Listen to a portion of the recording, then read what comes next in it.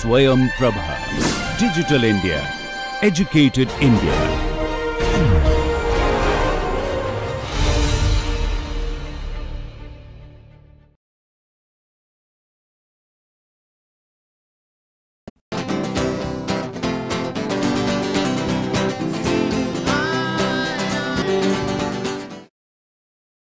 Hello, 20 of this uh, like machinery aerodynamics. We have we are probably halfway have had some what is involved in uh, this and of uh, different compressors. Lecture onwards, we are now looking at and of course subsequent the radial turbines. So I think uh, in the got some introductions are and uh, turbines and so on. So a little bit further, we will be talking about analysis of axial turbines. What we had discussed, remember during one of the sec- second lecture or the third, had uh, been uh, talking about and how one can analyze in two dimensional sense. A similar um, analysis class about we carried out for turbine. In to talk about uh, initially discuss uh, have turbines in general about impulse and reaction turbine types of axial turbines talk about um, how you can calculate work done and how is it different turbines we will then discussion about we will assume that had used in the still be valid uh, highlight some simple different pressure cascade and the turbine. Nomenclature remains the same in the camber or stack remains the same for only uh, spend lesser time and uh, take up cascade analysis which in compressors. Turbines have um, had dis- some discussion the different types of turbines of uh, compressor and centrifugal turbines as well. Just like in a compressor components in a compressor a rotor followed by in the case of turbine a nozzle or precedes a rotor. So guides and access and into a rotor work extraction takes place and uh, which is unlike rotor which comes first and then that goes into a state to the axial direction and so on both the rotor and the stator. Well you could have different acceleration in place in the rotor uh, and there are certain types of drop takes place only the rotor does not it simply deflects the flow. We will discuss that in little more later slides. So basically accelerated in nozzle or, and it then passes through a inner rotor the parts momentum to the rotor basically that converts our output. Now meant this process of multiple stages you would have number of stages which will jerk output which is on a compressor uh, which give you the required pressure typical axial compressor. Now um, this aspect in combat due to the motion of the have basically two distinct types of velocities component or type of velocity relative component or relative. This was also discussed in and uh, so an analysis that we will do velocity triangle two distinct components which when we take up velocity triangle similar to what you had discussed. Understood velocity triangle pressure it is pretty the case of a turbine as well. The reason why it will make it simpler and uh, the constraint now in uh, is the fact that a compressor required to generate there is a work input which is what is used in pressure across the compressor. It operates in a gradient mode. So always sees an increasing in the case of a turbine case it's it's the other way around. Variable pressure gradient because there is a turbine which lead turbine extracts work that is it converts kinetic energy which the flow output. Turbine the flow always sees a and that is one between a turbine and because you have a favorable pressure the the scene in the case of flow separation and and all that doesn't really because a turbine accelerating mode the problem of flow separation performance of a turbine. That we can more work per stage as compared to that and therefore a schematic of a uh, jet engine you will find compressors maybe 50 which are actually driven by just of turbine. So uh, can much greater than what we can achieve pressure rise we can achieve which is why as can stages of compressor. So, that is like that you need to understand the fundamental reason that, that turbines of compressors offers pressure gradient. So, there are which will prevent from having very high stage that is not a limit and that is why you have uh, pressure drop taking place compared to that of you get from one stage. So, um, compressors can be of different types be either axial in the case of turbine in there some literature which also type of compressors centrifugal mixed case of turbine you could have or a radial turbine or combination of the two called axial can handle large mass flow more efficient as very from compressors flow and are obviously more efficient. Axial turbine it has the same frontal area and also it is possible that we can use an axial of um, so and what is also efficiency of turbine higher than the basic reason I the comment I made operate in a favorable pressure and so the problem an adverse pressure gradient is not problems of flow separations also means that theoretically turbines are easier is in quote and unquote uh, in the sense that little more care design problem uh, because of turbine blade cooling problems that is an entirely different. So, aerodynamic compressor and a turbine tad easier to design just because of the fact that really worry about the chances of flow across the turbine because flow in the case, case and there is always a risk it enter into stall. So, um, let us now take a look at uh, types of turbine. Let us take a look at a turbine stage. Um, a schematic of an axial. So, an axial turbine mentioned a nozzle or a rotor representing a nozzle hot gases from the combustion chamber and then that part which is what gives us the rotor is mounted on what from the rotor is exhaust stage or through the nozzle in the case of an aircraft. So, uh, usually we would be denoting stator inlet as it as station 2 and rotor. In some of generation turbines, disc was a separate entity mounted on slot disc and so the mechanism for mounting the disc. Some of the, it was very soon realized a separate disc obviously will increase count will increase tremor. With modern day manufacturabilities in terms of 5 um, numerical machines, computer guided machines for us to make a piece. Smaller sized engines now, uh, some of the companies for example, G a disc which is called as Blisk disc together uh, piece of metal. Similarly, their competitors also like Pratt Whitney calls it rotor or IB. There is no distinct for a blade because the blade component stage being that you have the number of parts. A typical turbine blade like 70 to 80 blade mounted on a disc so parts for one. Now, if you one component because all the disc let us say or in terms of maintenance, but at the same time the is the fact that which gets damaged. In the earlier scenario you just have to do impossible to replace the then of course you will have to do a re and if the damage is severe has to be replaced. Pros and cons of having blade rotor and of course, uh, there are advantages, but that for economically that is in the long an advantage that combination of the blade and the disc. Having understood some of the fundamental turbines, let us move on to important aspect of analysis triangles. I think discussing velocity triangle. So, I will understood the fundamentals of velocity to kind of move velocity triangles just like that and done it step by step. Exactly the same compressor but of course, differences which you need to understand. Now, velocity triangle analysis and this is elementary uh, just like now our analysis is to carry out height and we speed at that height um, u. Component of velocity we will denote relative component we will denote by and uh, the axial velocity that is obviously denoted by stressors. Tangential subscript w. Absolute component of tangential velocity is the relative componential direction regarding angles angle between the absolute velocity direction and beating angle for relative. These are the terminologies used even in follow exactly the same nomenclature turbine as well.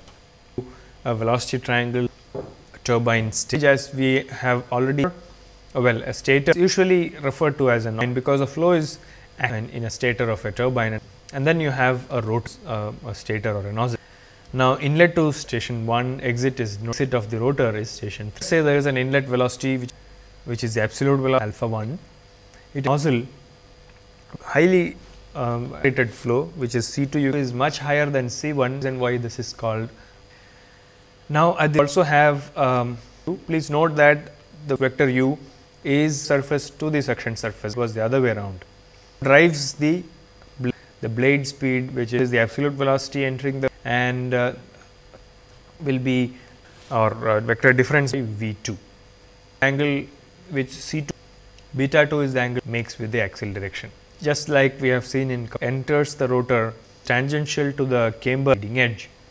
This, this is obviously when the to 0 separate. We have V 3 is um, less than and uh, on the type of uh, turbine whether it is impulse or and you also have C 3 and u.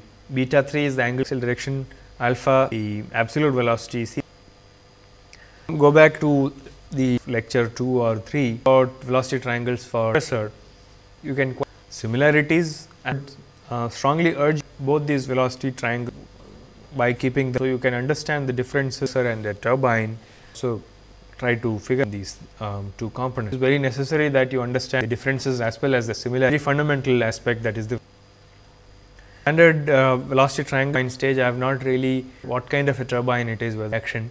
We will come to that soon and different uh, ways in express the velocity triangle these types of um, so, let us now take a look at the different types mentioned in the beginning that there are configurations of accessible, the impulse and the the entire pressure the nozzle deflect the flow and would have. So, there is no uh, pressure drop taking place in the turbine. So, the, the rotor blades would simply deflate to the next uh, one present. Reaction turbine on the other hand the rotor as well as the and the amount of pressure is defined we will discuss in detail in the now which means that reaction of an impulse because the entire pressure drop in the stator to any pressure drop and reaction for an impulse turbine. These are two different config turbines which are possible. What we will do is that the triangles also stand. Mechanism by which turbine now um, apply for an what you will notice is that the turbine is a three parameters. One is of course, the other parameters are and the tangent absolute velocity, angular momentum and exit of the rotor, the power generated by the turbine rate multiplied by Q2 which is and the tangential at the inlet of the rotor times C W 3 which at rotor exit by the uh, component of the. Now, we would not is uh, does not uh, at a given radial plane we assume to be equal to u 3 or the work done now be equal to it is u multiplied by c w or which is also equal to from the thermodynamics there is a stagnation temperature drop taking turbine expands the flow is extracted from the turbine stagnation temperature drop fine. Therefore, between the inlet and exit would basically be by uh, uh, this particular turbine mass is also equal to 1 minus T 0 3 where, where this is basically the enthalpy difference. CPT 01 is enthalpy at inlet of the turbine, CPT 03 is the enthalpy at the exit of the turbine. Let us now denote delta T 0 which basically refers to the stagnation temperature. The net change in stagnation temperature in the um, turbine delta T naught is equal to T 0 01 minus T 0 03 which is also equal to T 0 02 minus T 0 03 because 1 to 2 is the stator and there cannot be any change in stagnation temperature in the stator. Therefore, T 0 01 minus T 0 03 is equal to T 0 02 minus T 0 03. So, we now define what is known as the stage work ratio which is basically delta T naught by T 0 01 and that is equal to u times C W 2 minus C W 3 divided by Cp times T 01. So, this basically follows from these two equations here which correspond to the work done per unit mass. One is in terms of the velocities and the other is in terms of stagnation temperatures. So, a similar analysis was also carried out when we were discussing about axial compressors and uh, where also we had kind of equated the work uh, that the flow does on well work done by the compressor on the flow as compared to the stagnation um, temperature rise taking place in a compressor as a result of the work done um, on the flow. So, with there also we had defined the pressure rise or pressure ratio per stage in terms of the temperature rise across that particular stage and the velocity components which come from the velocity triangles. Now, uh, what you can see here is that the turbine work per stage would basically be limited by two parameters. One is the pressure ratio that is available for expansion and of course, uh, the other aspect is the allowable the amount of blade stress and turning that is physically possible for one to achieve in, in the case of a, a particular turbine. So, there are two parameters one being the available pressure ratio and the other is the allowable blade stress and turning that one can achieve in a particular turbine configuration. So, in unlike in a compressor where uh, we also had the issue of boundary layer behavior because the flow was always operating in an adverse pressure gradient mode in compressors. In a turbine the pressure gradient is favorable. So, boundary layer uh, behavior is generally uh, something that can be controlled and there are normally not much issues related to boundary layer boundary layer separation or uh, um, growth of boundary layer and so on. Of course, there are certain uh, operating conditions under which, uh, under which certain um, the stages of turbines may undergo local flow separation, but that is um, only for short durations. In general, um, in a favorable pressure gradient, boundary layers generally tend to be well behaved. Now, um, the turbine work ratio that we had uh, seen in the previous slide is also often defined in uh, as a ratio between the work done per unit mass divided by the square of the blade speed. Therefore, W t by u square which is also equal to the enthalpy rise or rather enthalpy drop in the case of turbine divided by u square which is basically equal to delta C w divided by u or net change in the tangential velocity absolute divided by the blade speed. Now, this is an important parameter because based on this we can uh, understand uh, the differences between an impulse turbine and a reaction turbine which is what we are going to do next to take a look at uh, what are the fundamental differences besides of course, the fact that in an impulse turbine flow is um, the entire pressure drop takes place only in the nozzle and in reaction turbine that is shared between the uh, nozzle and the rotor. Let us take up an impulse turbine first and we will take a look at the velocity triangles for an impulse turbine and then try to find out the work ratio uh, per stage of an impulse turbine and relate it to some parameters uh, which we can get from the velocity triangles. So, here uh, we have a typical impulse turbine stage, um, a set of a row of uh, nozzle blades followed by a row of rotor blades. And uh, so, flow is accelerated in the nozzle. And so uh, the velocity that reaches the rotor, the absolute component is C 2 and uh, at an angle of alpha 2 with the axial direction. And as a result of the blade speed u, the relative velocity which enters the rotor is v 2 which is at an angle of beta 2 with the axial direction. And in an impulse turbine I mentioned that the rotor simply deflects the flow and there is no pressure drop um, taking place in the rotor and therefore, at the exit of the rotor we have V 3 which is at an angle of beta 3 and by virtue of the symmetry of the blades we will have beta 2 is equal to minus beta 3 and velocity in magnitude V 2 would be equal to V 3. So, which we can also see from the velocity triangle shown here. C 2 is the absolute velocity entering the rotor V 2 is the relative velocity and the corresponding angles here alpha 2 and, and beta 2. Now, in the rotor we have uh, V 3 which is equal to V 2 in magnitude, but at an angle which is different from the inlet that is beta 3 will be negative of beta 2 in the other direction. Absolute velocity leaving the blade is C 3. Now, if you look at uh, the other components of velocities like this is the axial component of the absolute velocity C A and uh, the corresponding uh, tangential components of the relative velocity which are obviously equal and opposite in direction like V w 2 and V w 3 you can see that these are equal in magnitude, but of course, the their directions are opposite because V 2 and V 3 are in opposite directions and C w 2 is the absolute component of the well tangential component of the absolute velocity at inlet C w 3 um, that at the exit of the rotor. So, this is a typical uh, velocity triangle of, of an impulse turbine uh, stage and uh, if you if you take a closer look at the uh, velocity triangles I mentioned that the angles beta 3 and beta 2 are equal in magnitude, but they are um, different by the their orientation. So, beta 3 is equal to minus beta 2 which means that we have V w 3 is equal to minus V w 2 and the difference in the tangential component of the absolute velocity C w 2 minus C w 3 will be equal to twice of V w 2. So, let us take a look at the velocity triangle again.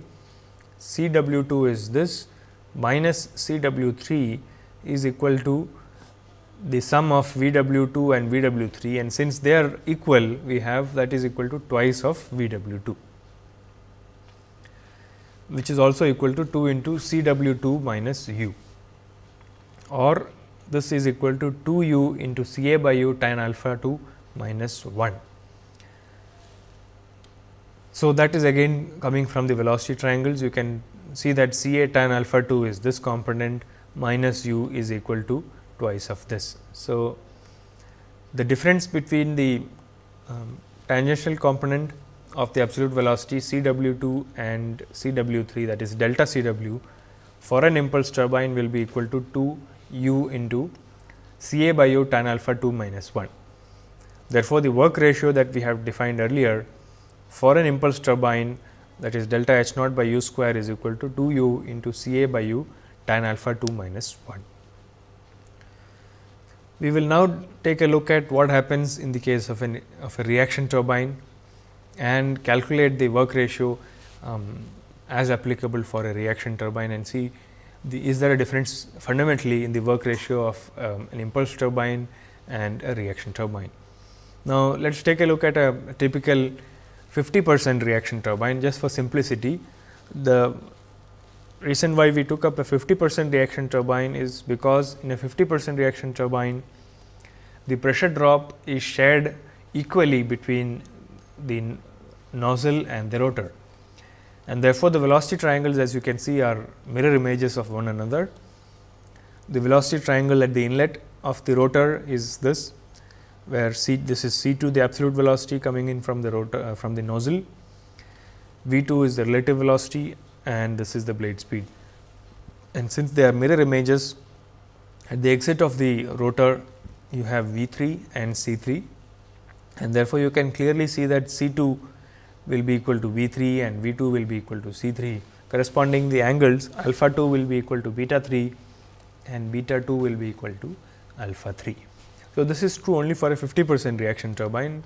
For any other reaction uh, stages of course, the velocity triangles need not necessarily be symmetrical and this is also assuming that the axial velocity is uh, does not change across the rotor and uh, the nozzle. Now, for this kind of a reaction turbine which is uh, having a degree of reaction of 0.5, since the velocity triangles are mirror images or symmetrical, if we assume constant axial velocity, we have C w 3 is equal to minus C a tan alpha 2 minus u and therefore, the turbine work ratio would basically be equal to twice into twice of C a by u tan alpha 2 minus 1. This you can compare with that of um, the um, impulse turbine, where it was 2 u multiplied by C a by u tan alpha 2 minus 1. So, you can immediately see that there is fundamental difference between the work ratio as compared to a turbine which is impulse or in this case of course, the example was for a 50 percent reaction turbine. Um, so, there is a fundamental difference between the work ratio as applicable for an impulse turbine as compared to that of a, a 50 percent reaction turbine and in general in a, for any reaction turbine as well. Now, um, this was as far as the different types of uh, turbine configurations were concerned and how one can analyze um, these turbine configurations and what are the fundamental differences between uh, let us say an impulse turbine and a reaction turbine and how one can from the velocity triangle estimate the work ratio that um, or the work done by these kind of turbine stages. So, um, what I was suggesting right at the beginning was that you can clearly um, see differences between the compressors and turbines by looking at the velocity triangle for these two different cases and comparing them uh, to understand the fundamental uh, working of compressors and turbines and what makes them uh, two different components. What we can uh, take up next for discussion is um, something we have discussed in detail for compressors as well. That is to do with a cascade. And um, as you have already seen a cascade is um, a simplified version of a rotating machine. And you could have different versions of cascade. You could have a linear cascade or an annular cascade. And basically a cascade would have a set of blades which are arranged set of uh, similar blades which are all arranged in a certain fashion at a certain angle uh, which we have referred to as the stagger angle and cascade analysis forms a very fundamental analysis um, of design of uh, turbo machines whether it is compressors or turbines. So, cascade basically consists of an array of stationary blades and uh, constructed basically for measurement of performance parameters. And uh, what is usually done is that we would like to eliminate any three dimensional effects which are likely to come up in a cascade. And uh, one of the sources of three dimensionality is the presence of boundary layer.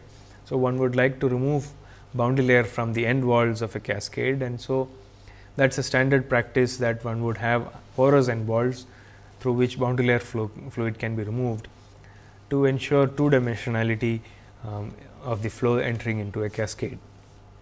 Now, it is also a standard assumption that radial variations in velocity field can be kind of eliminated or ignored. And uh, cascade analysis is primarily meant to give us some idea about the um, amount of blade loading that a particular configuration can give us as well as the losses in total pressure that one can uh, measure from a cascade analysis. So, and in turbine cascades testing also involves wind tunnels which are very similar to what we had discussed for compressors. I had shown you um, cascade wind tunnels when we were discussing about uh, cascades in the context of compressors. In um, turbine cascades are al also tested in similar wind tunnels and uh, just that in a case of turbine since they are operating in an accelerating flow there there is a requirement of a certain pressure drop across uh, uh, a turbine. So, therefore, um, the wind tunnel is required to gener generate sufficient pressure which can be expanded through a, a, turbine cascade. Now, turbine blades as you are probably aware would are likely to have much higher camber than com compressor cascades or compressor blades and turbine cascades are set at a negative stagger unlike in compressor blades something I will explain when we take up a cascade uh, uh, schematic in, in, in, detail. Now, cascade analysis will uh, basically give us as I mentioned two parameters besides a set of other parameters like uh, boundary layer thickness and, and, and losses etc. Um, the most fundamental parameter we would like to look at from the cascade analysis is this surface static pressure distribution or CP distribution, which is uh, related to the loading of the blade and the second aspect is, is the total pressure loss across the cascade, which is uh, yet another parameter that one would like to uh, infer from the cascade analysis. Now, let us take a look at a typical cascade uh, turbine cascade um, nomenclature.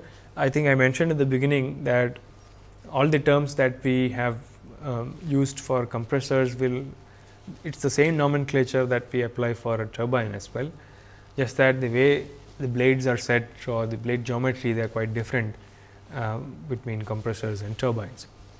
So, if you look at uh, a typical compressor cascade these are the blades you can immediately see that these blades have much higher turning or camber than compressor blades. So, it, it is a set of these blades which are arranged uh, either linearly or in an annular fashion which constitute a cascade.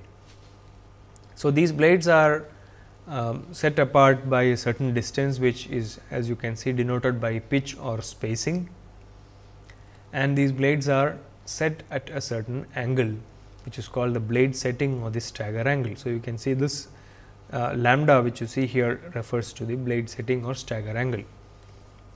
The blades have a certain camber which is basically the angle subtended between the tangent to the camber line at the leading edge and that at the tail trailing edge. So, the difference between that gives us the uh, blade camber. Now, the flow enters the cascade at a certain angle you can see that the inlet blade angle is given here as beta 1 and the blade outlet angle is beta 2. Now, so um, if there is a difference between the blade angle and the flow angle at the inlet that is basically the incidence which is denoted by I here. So, this is the incidence uh, angle. Similarly, a difference between the blade outlet angle and the outflow angle is the deviation which is denoted by delta. So, at the exit you may have a flow deviation, at the inlet one may have an incidence. And uh, if you draw a normal or a uh, normal to the tangent at the trailing edge and uh, take it to the next adjacent blade, the suction surface of the adjacent blade. So, this distance that you see here is basically referred to as the throat or opening at the um, turbine exit and that is here denoted by a symbol O. The blade chord as uh, you already know is denoted by C and then um, the blades also would have a certain finite thickness at the trailing edge. So, that is denoted here by the trailing edge thickness. So, the blades uh, practically will have a certain amount of finite thickness and that is what is denoted here as the thickness at the trailing edge. So, these are the fundamental uh, nomenclatures uh, nomenclature that is used in uh, turbine. A very similar aspect was also used in compressor where we had defined all these different parameters like incidence and deflection, deviation and uh, blade angle, the camber, pitch, stagger, all of them were defined.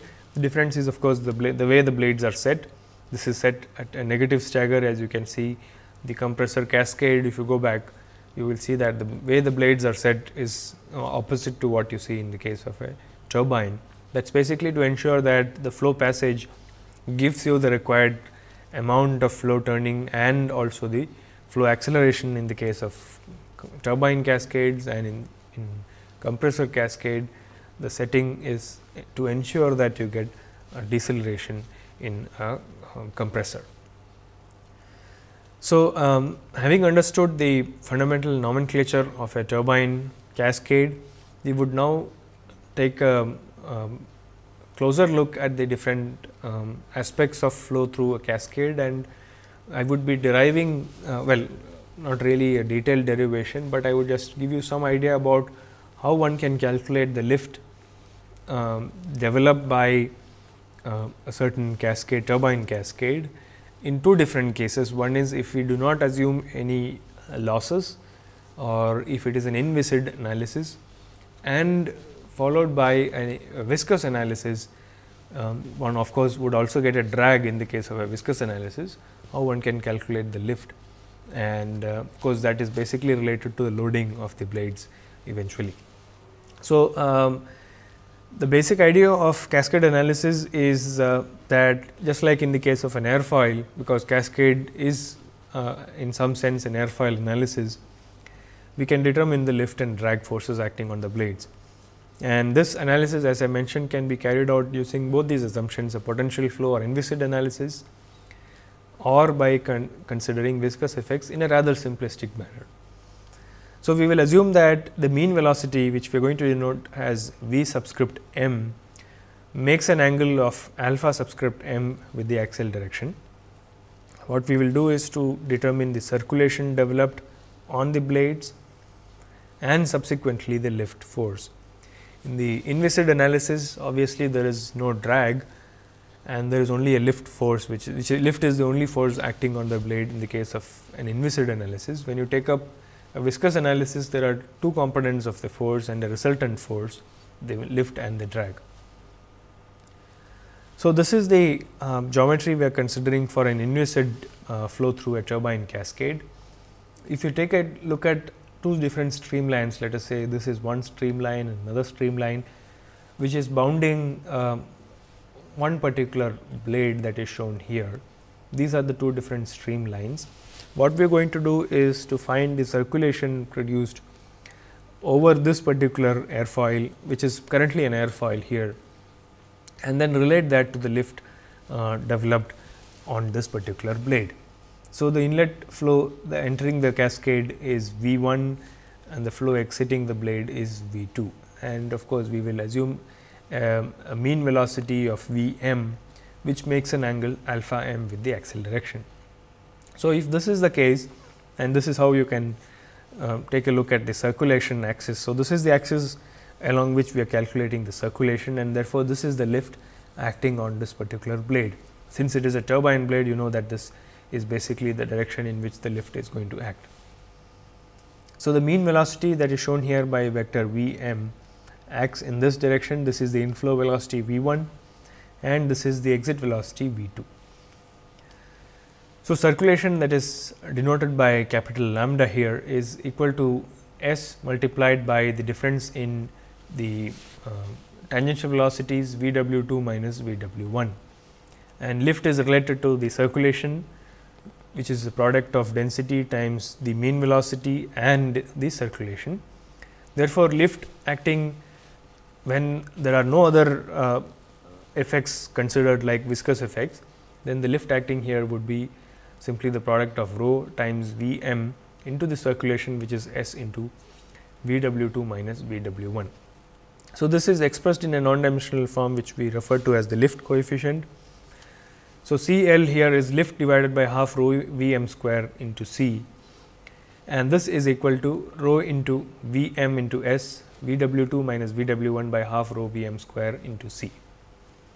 So, this can be related to the angles the across the um, cascade and so we can simplify this lift coefficient as 2 into S by C into tan alpha 2 minus tan alpha 1 multiplied by cos alpha alpha m.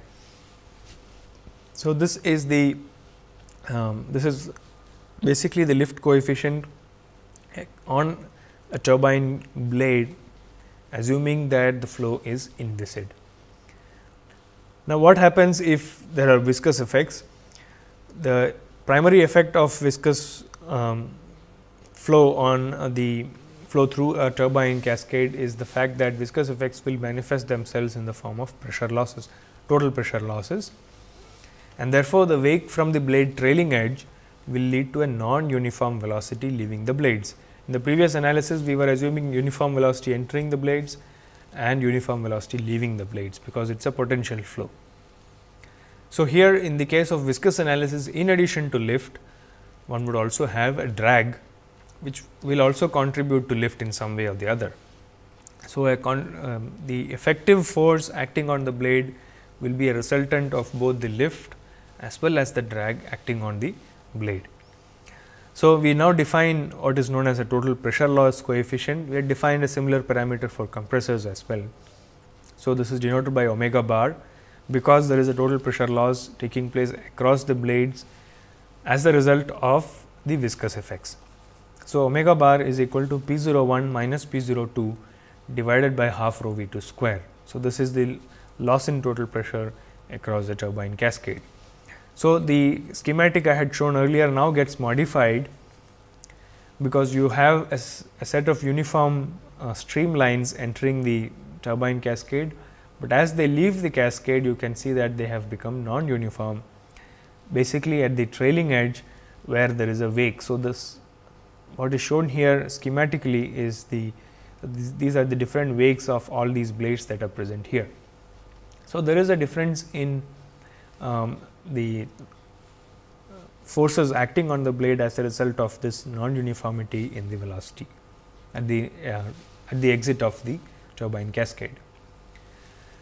So, in this case we can calculate drag as equal to the losses, we can relate the drag to the losses total pressure losses omega bar into S into cos alpha m and therefore, the effective lift will now be equal to the sum of the lift as well as the component of drag in that effective direction that is omega bar into s into cos alpha m.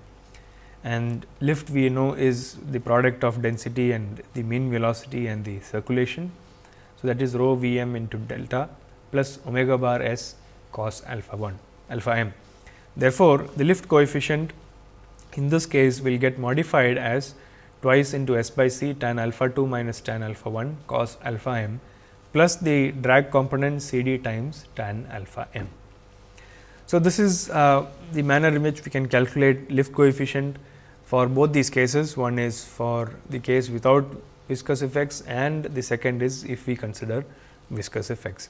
So, the basic idea of calculating these coefficients was to calculate also calculate the blade efficiency. So, based on the calculation of the lift and drag coefficients, we can now calculate the blade efficiency, which is basically the ratio of ideal static pressure drop to obtain a certain degree of kinetic change, energy change to the actual static pressure drop, which will produce the same change in kinetic energy. Therefore, the blade efficiency is um, in I have of course, skipped the derivation of the blade efficiency, but it can be related to the lift and drag coefficients like blade efficiency is 1 minus C d by C L tan alpha m divided by 1 plus C d by C L cot alpha m. And if you were to neglect the drag term in the lift definition, because C d um, the drag term is usually much smaller in comparison to the lift, the blade efficiency is simply 1 by 1 plus 2 into C d divided by C L sine into twice alpha m. So, uh, this the basic idea of uh, calculating the lift and drag coefficients was also to calculate the blade efficiency, which is uh, basically a function of CDCL and the mean angle alpha m. Okay, so let me now quickly recap uh, our discussion in today's class. We had taken up three distinct topics for discussion. One was the different types of turbine uh, configurations, axial turbine configurations, the impulse and the reaction turbine stages and we have done, um, we have had a look at the velocity triangles and how you can calculate the work ratio for impulse and reaction turbine stages. We have also carried out the work and stage dynamics, we have looked at these different components or configurations of axial turbines and how we can uh, go about uh, determining the work ratio for these um, two configurations of axial turbine. And then uh, we had some discussion on turbine cascades and calculation of lift and drag uh, for a typical turbine configuration and how we can use that information to calculate the blade efficiency from simple um, turbine cascade testing. That is a simple cascade testing can actually give us um, some idea about the blade efficiency that this kind of a blade configuration can give us. So, that brings us to the end of this lecture. We will continue our discussion on axial turbines in the next lecture as well, where we will primarily be talking about uh, the performance parameters, degree of reaction losses as well as efficiency of axial turbines and um, where we will also take up detailed discussion on what are the different losses in a two dimensional sense and how we can define efficiency and uh, you will see that there are different ways of defining efficiency for a turbine. So, we will take up some of these topics for discussion in the next class.